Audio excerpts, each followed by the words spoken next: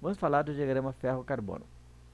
Aqui estão alguns sites com material que você pode estudar para aprofundar-se no assunto. E vamos começar falando da alotropia do ferro. O ferro em estado líquido, ao se solidificar, a primeira estrutura que se forma é o ferro delta, que tem por característica ser a estrutura cristalina cúbica de corpo centrado. Conforme a temperatura vai abaixando, essa estrutura muda de face centrada para de corpo centrado para face centrada. Ou seja, a distância, os espaços interatômicos mudam. Eles se tornam maiores aqui. E na sequência, conforme ele vai se resfriando, ele passa de cúbico de face centrada e volta a ser cúbico de corpo centrada, tornando novamente a mudar as distâncias e os espaços interatômicos aqui. A primeira estrutura a gente chama de ferro delta, a segunda, que é o cúbico de face centrada, é a austenita ou ferro gama, e por último temos a ferrita ou ferro alfa. Então essa estrutura muda em função da temperatura e da pressão. Para nós aqui no planeta Terra, em geral, nos interessa apenas as mudanças de fase decorrentes da temperatura. As pressões altíssimas que ocorrem em alguns planetas e algumas estrelas podem mudar, ou até no interior do nosso planeta, né? na, na, no manto e no núcleo do nosso planeta, as pressões são tão grandes que você consegue mudanças de estrutura cristalina só com a pressão sem alteração da temperatura. Mas aqui na superfície da Terra e no nosso dia a dia, vamos reter a questão só da pressão, da temperatura, tá bem? Bom, aqui temos o diagrama ferro-carbono. Ele é um, importantíssimo para nós, demorou, deve demorado muitos anos para ter sido criado, porque cada linha uh, vertical que você encontra aqui é uma amostra de aço diferente. Por exemplo, essa linha aqui é, carbo é uma liga de aço carbono com 1% de carbono. Essa aqui é uma liga de aço carbono com 2% de carbono. Essa aqui 3, assim sucessivamente até 6,7, que é o limite de solubilidade do ferro, do carbono no ferro. Tá ok? Aqui, essa região líquido, quer dizer que toda essa região aqui, o material está líquido, ou seja, a uma temperatura, digamos, de 1400 graus, uma liga com 4% de carbono está em líquido. Tá ok? Ao passo que se você pegar uma temperatura de 1300 graus, uma liga de aço de 2%, ele você vai encontrar duas faces. Uma fase ferro gama mais aço ferro líquido.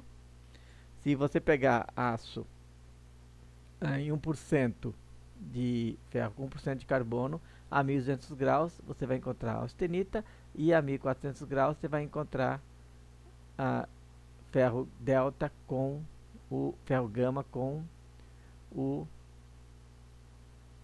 o, o fase líquida, tá? Se você pegar ferro puro a 1500 graus, você vai encontrar só ferro delta. Tá ok? Vamos então. Aqui está as mudanças de fase, né? Ah, numa concentração de ferro. A temperatura de 1300 graus, ele está aqui cúbico de corpo centrado, é o ferro gama.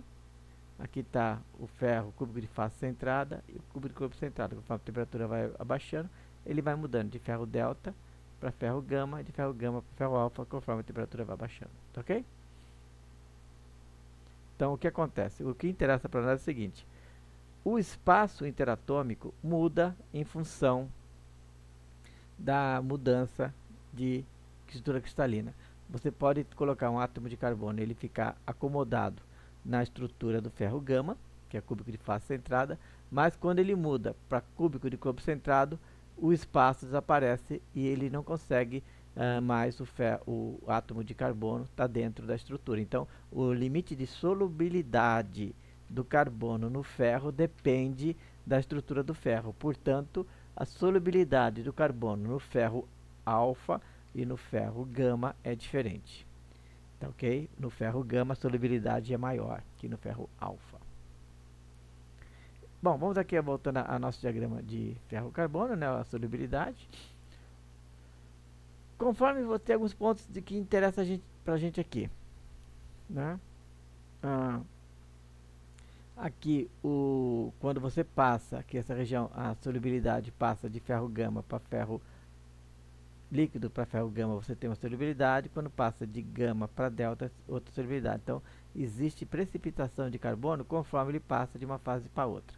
O carbono que sai, ele não fica solto na estrutura, ele reage com o ferro e forma uma estrutura, um elemento, uma substância química, uma cerâmica chamada cementita, que é uma, é uma cerâmica que, formada de ferro, carbono. A cementita é extremamente dura e é de grande interesse para nós. Quando você trabalha com ferro puro, que é só essa região aqui, mais próximo da, da borda, onde você praticamente não tem o ferro, você tem a ferrita. A ferrita ferro alfa tem a seguinte característica. Primeiro, ela tem baixa dureza, ela é mais maleável e mais tenaz do que o, a cementita. Então você tem um material que é mais macio, tá? Com a vantagem, esse material ele pode tortar, ele pode uh, receber impacto se ele formar e não se romper, porém, como ele não é duro, ele não consegue reter, por exemplo, uma, um corte. Ele, você não consegue ter uma, fazer ele ficar afiado, esse corte dele ser resistente. E também quando ele sofre algum esforço, ele perde a forma com relativa, relativamente mais facilidade, tá? Ah, eles têm propriedades magnéticas interessantes, tá? As propriedades magnéticas da ferrita é diferente dos outros tipos de ferro. A cementita não é magnética, a ferrita é. Então você tem essa característica aqui da cementita. A cementita, ele para uso na mecânica é pouquíssimo usado. O ferro puro, em termos de mecânico, não é muito usado. E, mas tem aplicação no sentido da parte de fabricação de antena, parte eletrônica ele tem interesse.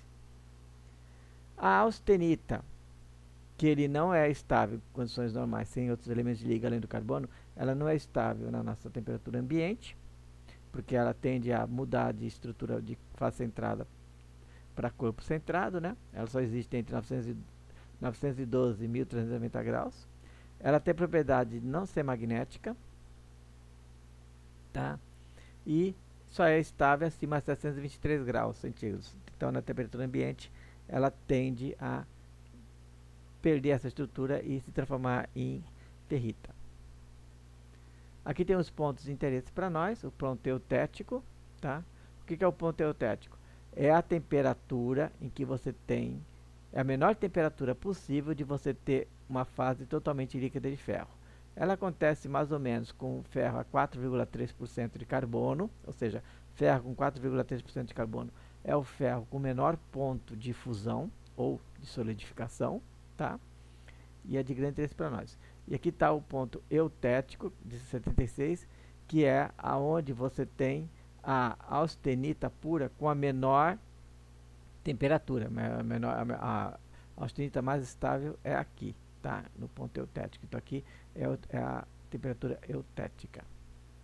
É mais ou menos o, o é de interesse aqui para nós esse ponto. Acho que provavelmente é um dos pontos mais de interesse. A gente vai falar bastante dele tá? É o ferro com 0,77, 0,7% de carbono. É o ferro eutético. Então, ah, aqui está o ponto peri peritético, né? Que isso aqui a gente não usa muito. Aqui está o ponto eutético, a menor temperatura do ferro ah, líquido, é ó, de 1148 graus centígrados, com 4,3% de carbono, é a menor temperatura que você consegue ferro líquido, e o ponto, o ponto eutético que a gente vai estudar bastante daqui a pouco. Bom, aqui está a temperatura de 723 graus Celsius, 727 graus Celsius. É a temperatura em que, abaixo da qual você deixa de ter o ferro gama austenita estável e passa a ter ferrita, tá? E vamos estudar o ponto eutético, o ácido eutetóide. O ácido eutetóide é o ácido com 6,7% de carbono, está bem nesse ponto aqui. 6,07% de carbono. 7% de carbono. Desculpa. É o aço com 0,77% de carbono, tá? Esse aço chama-se aço eutético e tem a seguinte propriedade. Acima de 723 graus, você tem só o austenita. O carbono ele está dissolvido dentro da austenita, porque a austenita tem um ponto de solubilidade de carbono maior que da ferrita. Então ele está todo homogêneo aqui, ferro e os átomos de carbono dissolvidos dentro. Quando passa de 727 graus para baixo, começa a formar mudança, o, o, aço cúbico de face centrada então se transforma cúbico de corpo centrado, reduz a solubilidade e ele começa a colocar para fora o carbono. Esse carbono reage com o ferro e forma a cementita. E a forma com que ele faz isso é bem interessante, porque ele simplesmente, você na primeira fase aqui em cima, você tem os grãos de metal só de ferro gama. Conforme a temperatura vai abaixando, o carbono é expulso da estrutura e começa a reagir. E você tem aqui, o, o cristal começa a formar essas estruturas aqui no material conforme a temperatura vai abaixando. A temperatura vai abaixando, o carbono vai sendo cada vez mais retirado de dentro e vai reagindo com o ferro e formando essas estruturas que tem forma de lamelas, tá? E o pessoal acha que isso aqui tem uma cor um tanto perolizado, daí o nome pelita. Como é que se forma isso? Aqui você tem um grão puro de ferro gama.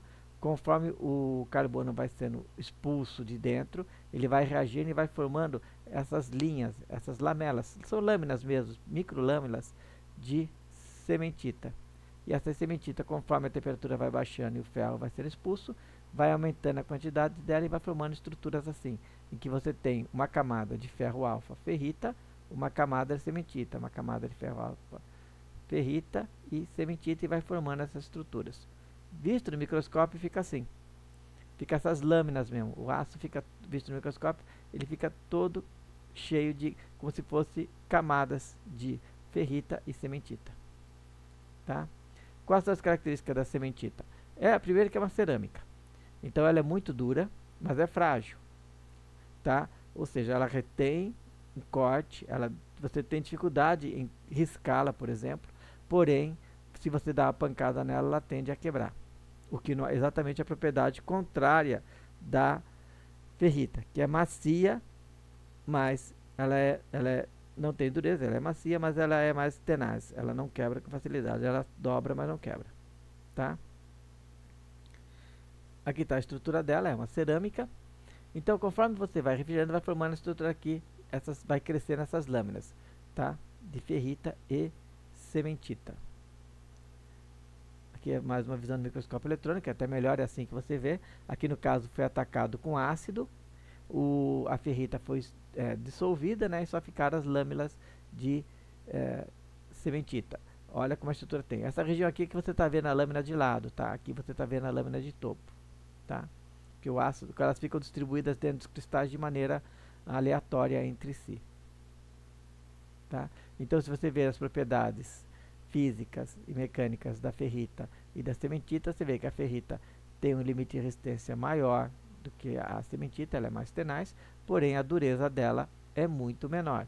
A combinação das duas formando essas estruturas tem propriedades intermediárias entre a ferrita e a cementita. Você vê que os valores são todos intermediários entre as duas.